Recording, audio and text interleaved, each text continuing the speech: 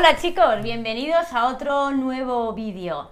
Soy Beatriz Mora, la fundadora de Enseñando Español Online. Hoy tenemos aquí como invitada a Mireia Trías. Ella es profesional en marca personal y hoy nos va a contar por qué esto es tan importante. Bueno, cuéntanos un poquito sobre ti, Mireia.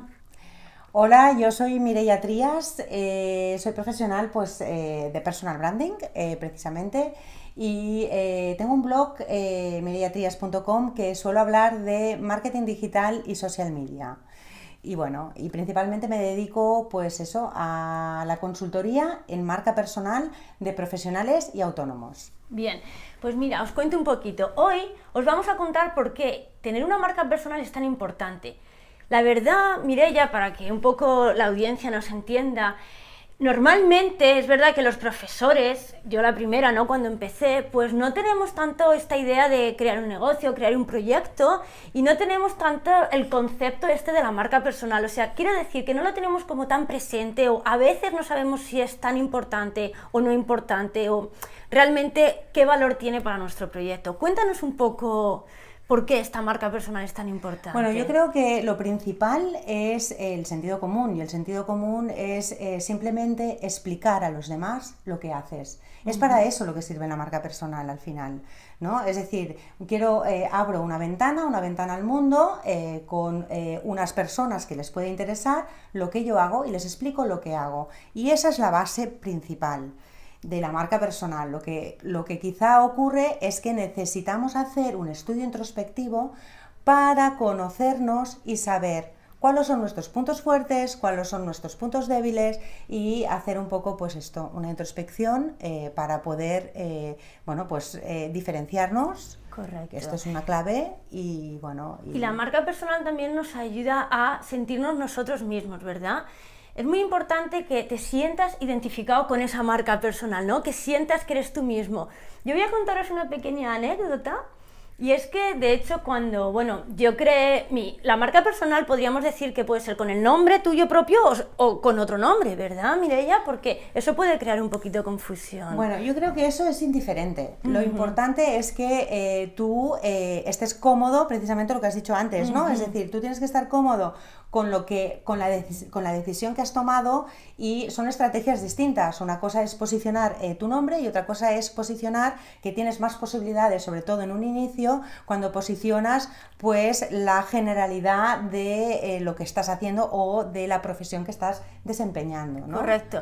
Pero... Como has comentado esto, yo os voy a contar bueno, una experiencia mía propia. Y es que yo cuando empecé con este proyecto, al principio yo a mi página web o, o mi marca, ¿no? Lo definí como con mi nombre propio, beatrizmora.com.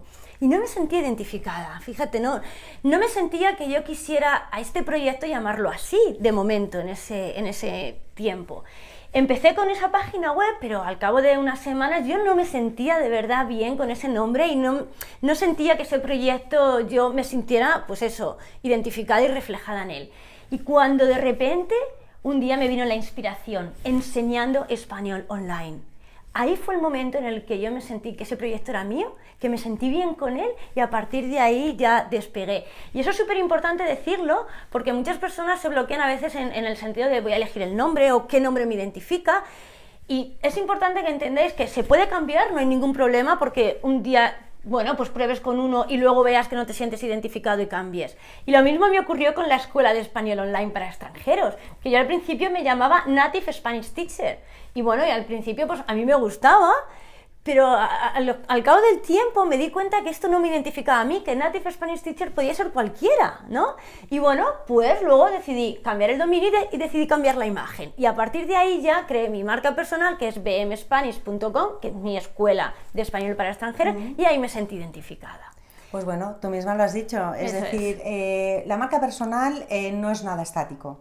Por lo tanto, eh, pretender, eh, por ejemplo, eh, yo mi proyecto sí que lo llamo Mireia Trías, pero la evolución de mi marca personal ha tocado varios palos y varios sectores, es decir, es aceptable que yo deje de ser consultora de marca personal. Algún día, puede, puede ocurrir, me puede pasar pues que me reconvierta, pues yo qué sé, en coach eh, eh, de ejecutivos o lo que, em, es decir, em, sobre todo la marca personal es personal, entonces eh, tú mm, pasas por diferentes facetas y por diferentes ciclos de tu vida. Lo que muchas personas escogen la estrategia de definir una, un, un proyecto de negocio digital con un nombre generalista eh, en función de la profesión que desempeñe, ¿no?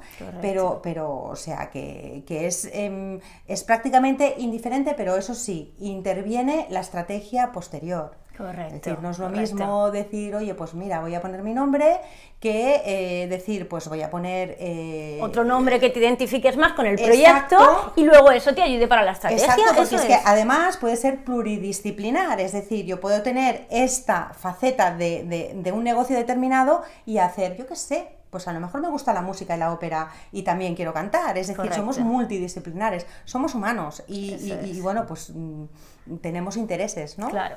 Nos quedamos simplemente para terminar el vídeo con dos conceptos. Uno, que es muy importante que te sientas identificado con tu marca, que tú vas a ser el dueño de ella, es tu proyecto y lo más importante es que te sientas bien con, con, el, con el proyecto.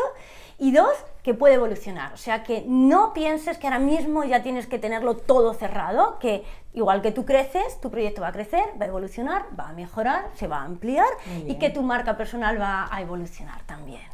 Bueno, pues muchísimas gracias, por dedicarnos tu tiempo. Os voy a dejar la página de Mirella por si os apetece, bueno, pues conocer más su proyecto, su historia, su web y, bueno, conocer más el mundo de, de, la marca personal.